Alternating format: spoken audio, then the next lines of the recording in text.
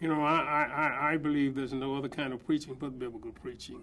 I mean, if, if uh, preaching is preaching the good news of the gospel, and uh, I believe that every sermon needs to be driven by a text, by the Word of God.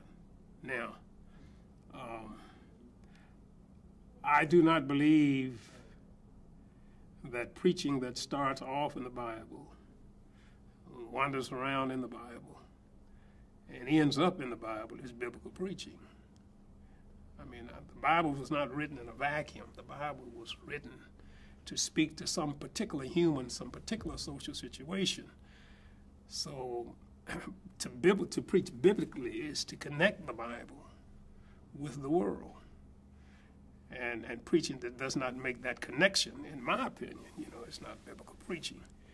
Uh, so, uh, biblical preaching is taking a text, understanding the text, and then applying the text to the human situation, and understanding that every word of the Bible that was written was written to speak to a particular human situation, of course.